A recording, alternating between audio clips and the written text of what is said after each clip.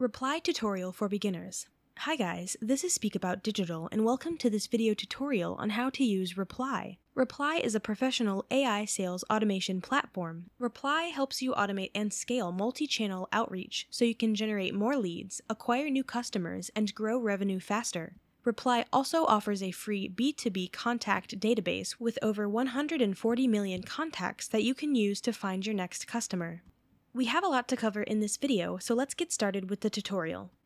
To begin using Reply, the first step is to create an account. You will find the link down below in the description, so go to the description of this video and click on the first link you find there. This will take you to the correct home page.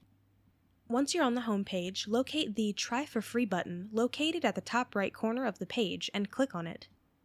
Upon clicking, you will be redirected to the registration page. Here you will be presented with three options to create your new account. You can choose to sign up using your Google account, your Microsoft account, or by providing your email address.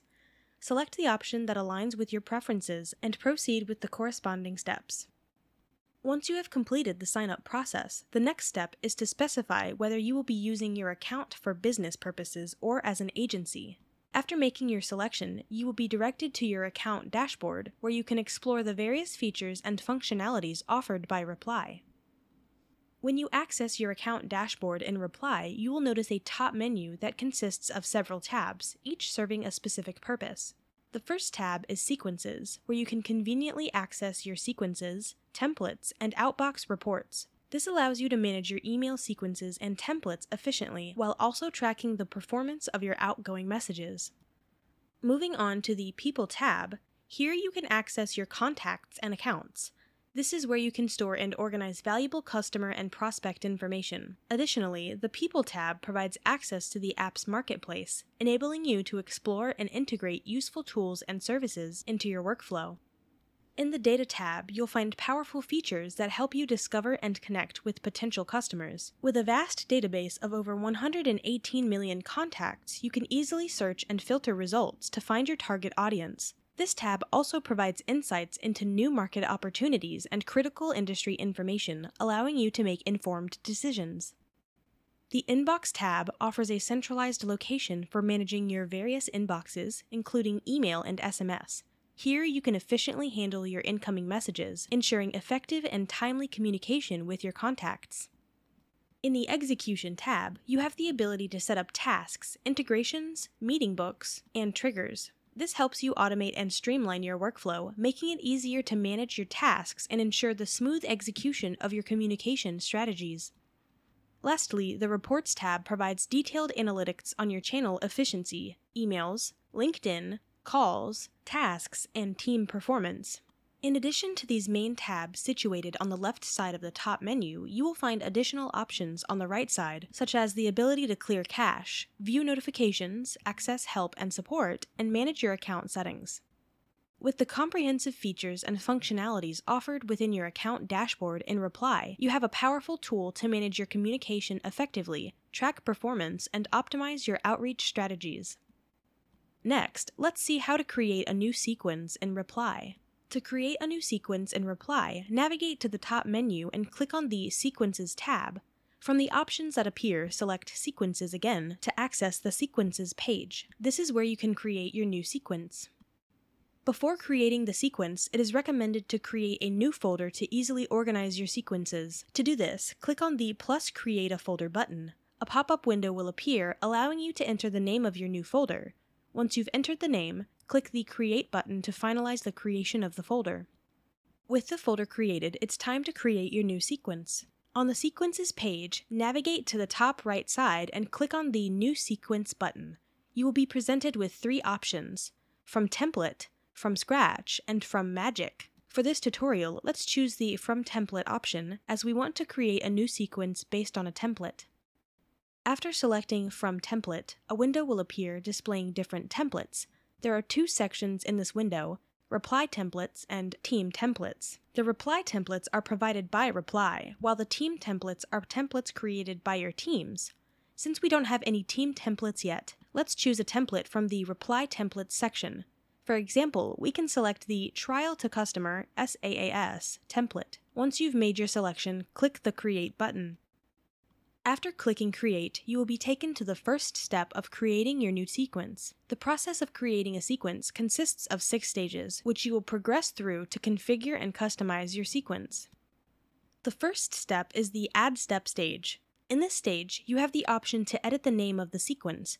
Additionally, you can add or remove steps according to your preferences.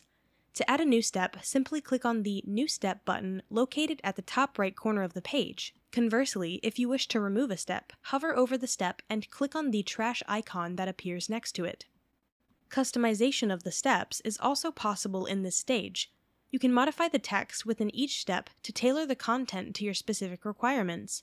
Furthermore, you can adjust the position of the steps by dragging them up or down as needed. Once you have customized the current step, click on the Next button located at the bottom right corner to proceed to the next stage.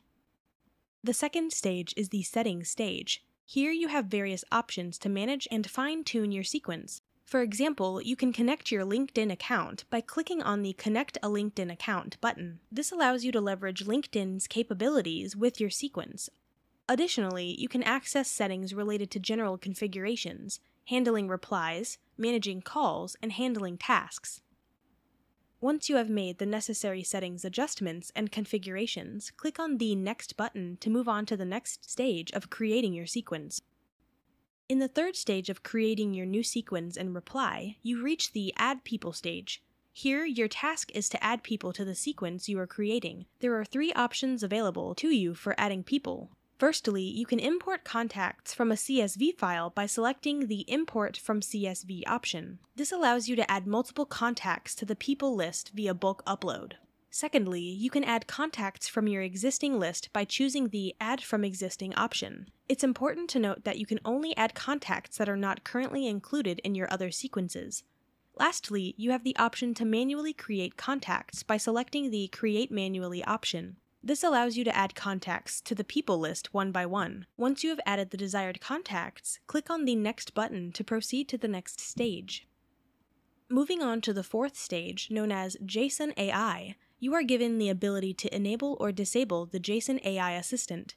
By clicking on the toggle button next to the Handle Replies, you can determine whether you want the assistant to handle replies for this particular sequence. After making your selection, click on the Next button to proceed with the sequence creation process. In the fifth step of creating a new sequence in Reply, you reach the Schedule stage.